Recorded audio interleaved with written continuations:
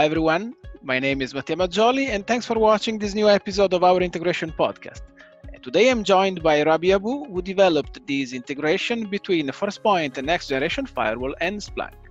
This integration POC provides customers of Forcepoint Next Generation Firewall with a logs exporter component that receives Next Generation Firewall logs and automatically forwards them into Splunk so that events and insights on health and traffic filtered by the Next Generation Firewall engines can be visualized using the dashboards of our Splunk app and also correlated with other data available into the Splunk instance of the user.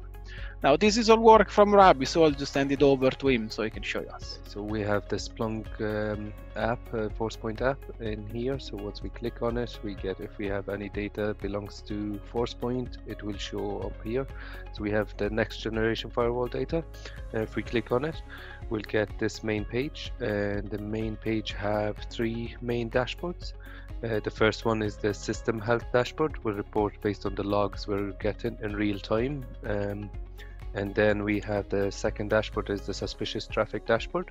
And the last one is the network traffic dashboard. So in the main page we're only viewing how many uh, nodes or next generation firewall nodes we're we're getting reports from.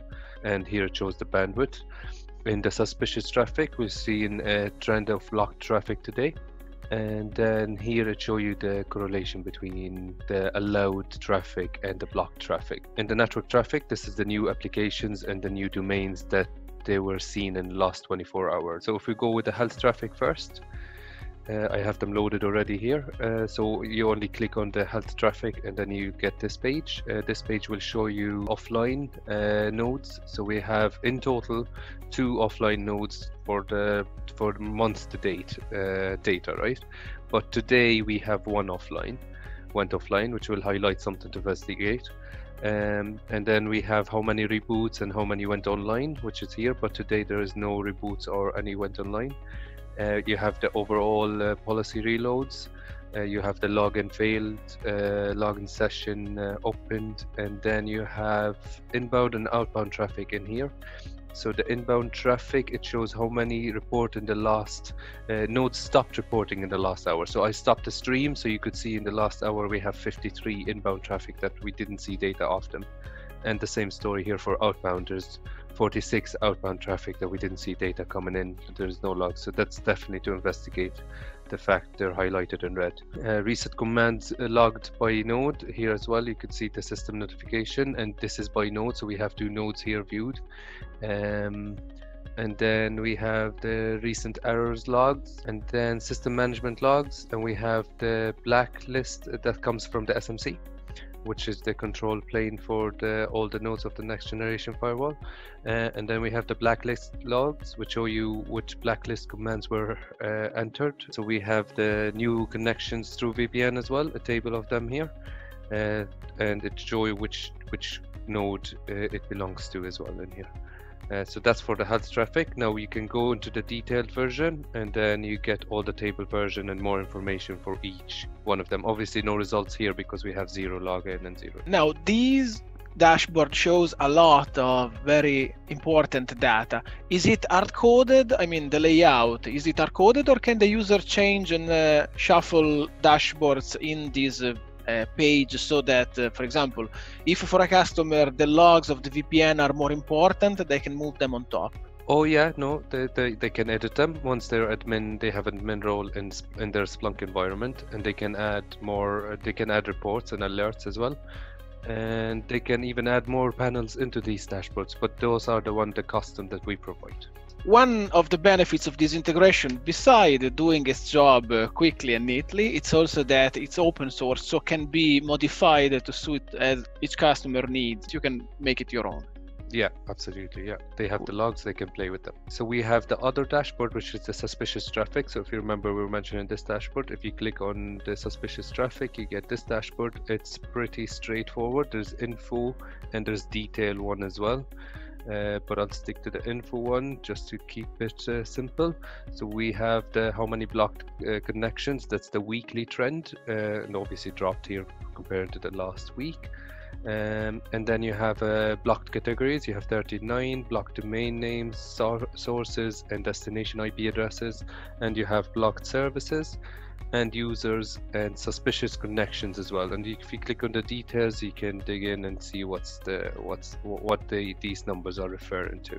And if we move to the network traffic, it's the last dashboard. This dashboard is done small bit different to the others because it's a bit richer so it has a web traffic, it has an application traffic, and it has a service traffic, and every one of them is presented the data that belongs to. So for the web traffic, you could see the web users, you could see the oh the first two tables are quite important as well actually. So the new domain names detected in last 24 hours and in last seven days.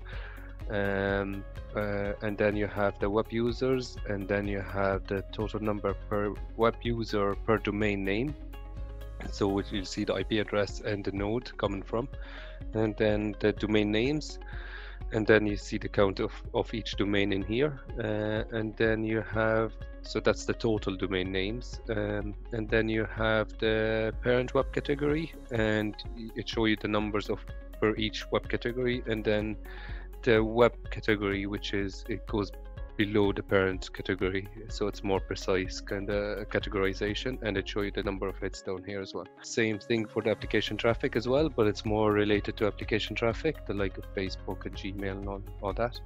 And then you have the service traffic uh, last that show you how many packet filtering done how many inspection uh, done um, which is in the layer above a uh, high high level in the layer 7 with the application and then you have the IP protocol percentage here, what's mostly used, which is, it's not a surprise, it's TCP in here.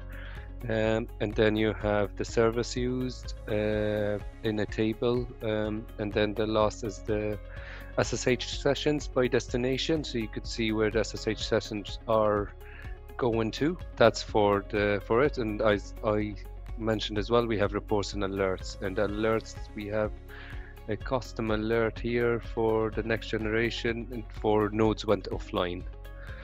So any nodes went offline during the day, you'll get an alert for it based on the setup.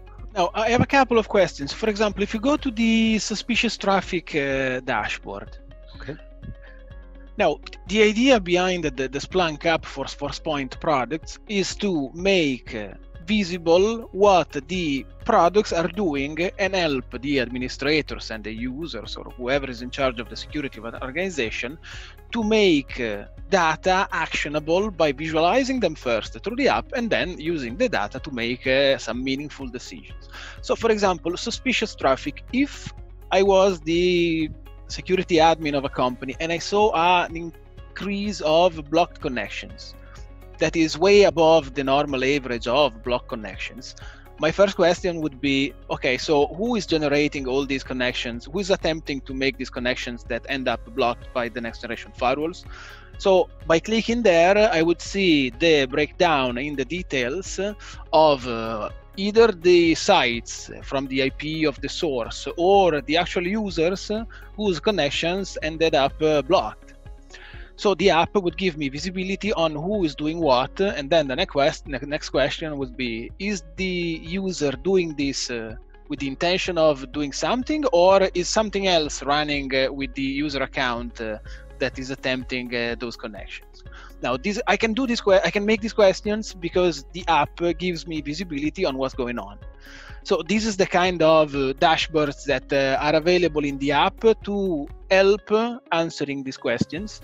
But then again, those can be customized to suit the needs of uh, every specific customer. And this is why the uh, dashboards can be edited uh, once they are loaded uh, through our app.